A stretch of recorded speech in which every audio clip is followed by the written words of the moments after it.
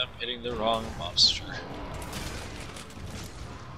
Oh.